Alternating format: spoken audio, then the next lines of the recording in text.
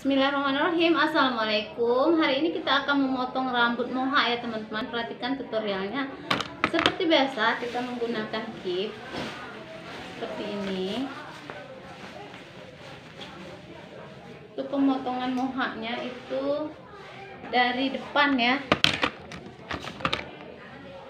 Dari depan tuh Kita pakai nomor satu seperti biasa pemasangannya seperti ini. Lalu kita ambil ini kelihatan ya dari ke sini.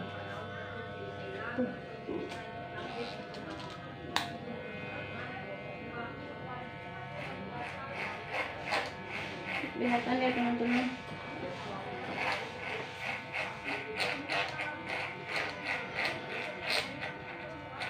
Kelihatan ya? Terus dari bawah ini naikkan ke atas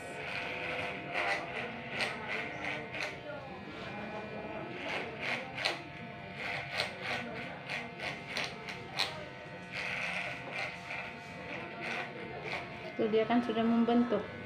Nanti kita rapikan lagi. Untuk yang sebelah kiri itu sama ya. Lakukan hal yang sama seperti yang kanan itu.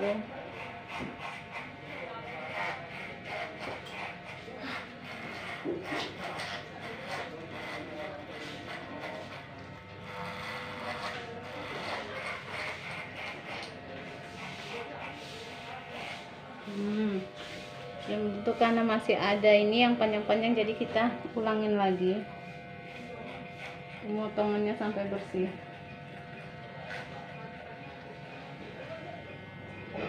Terus kita ganti lagi nomor tiga ya.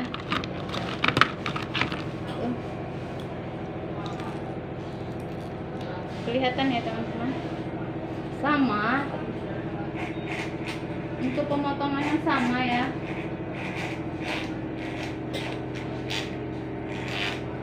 Cara pemotongannya itu sama ya teman-teman.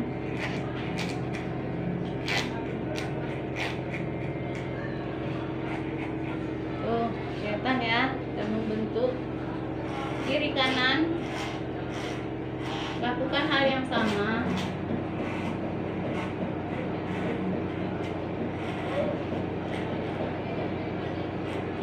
Hmm. lalu ini kita ganti lagi nomor 4 kita cari dulu nomor 4 itu nomor 4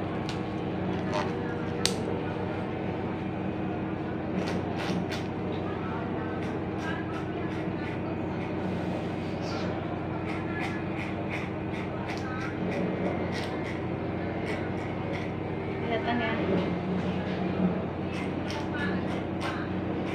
sama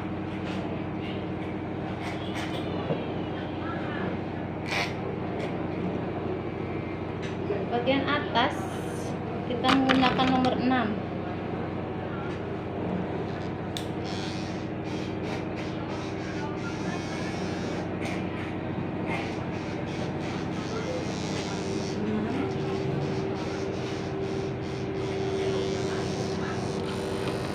untuk bagian atas rambutnya kita acak ya. Menggunakan gunting acak tuh sama sisir terlebih dahulu kita menggunakan air untuk perapian. Rambutnya ditarik ke belakang.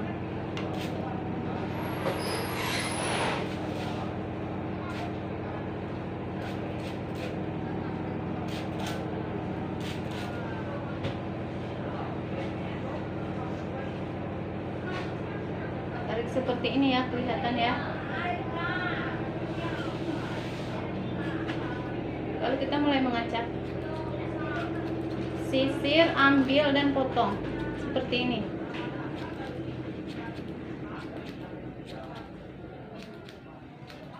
Sisir ambil lalu dipotong. Sangat gampang teman-teman. Sangat mudah sekali. Sama belakang juga ya. Lakukan hal yang sama sampai selesai dan lihat bagian yang panjang kita potong. Lalu kan kita menggunakan gunting ya teman-teman. Buang bagian yang panjang.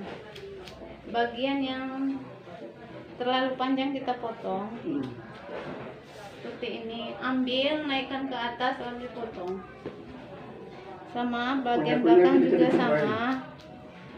Belakang kuliah belakang sama seperti ini ya. Tuh, kelihatan ya teman-teman. Udah kelihatan. baik Udah kelihatan ya pemotongannya seperti ini. Seperti inilah ya rambut mohak kita ya teman-teman. Untuk pemotongan bulu-bulu halusnya kita menggunakan pisau seperti biasa. Dari atas itu turunkan ke bawah. Tuh. Atas turun ke bawah. atas turun ke bawah. Bagian rambut yang panjang itu kita potong bagian-bagian yang panjang ya. Biar kelihatan rapi. Nah, seperti itu ya teman-teman. Dan inilah hasil mohak kita hari ini. Tuh kelihatan. Bagus banget ya. Terima kasih wassalamualaikum warahmatullahi wabarakatuh